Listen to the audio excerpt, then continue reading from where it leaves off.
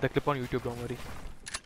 Nobody will watch anyways. It's fine. If, if, if the people who watch will watch, then then fine. That's how we can no scope.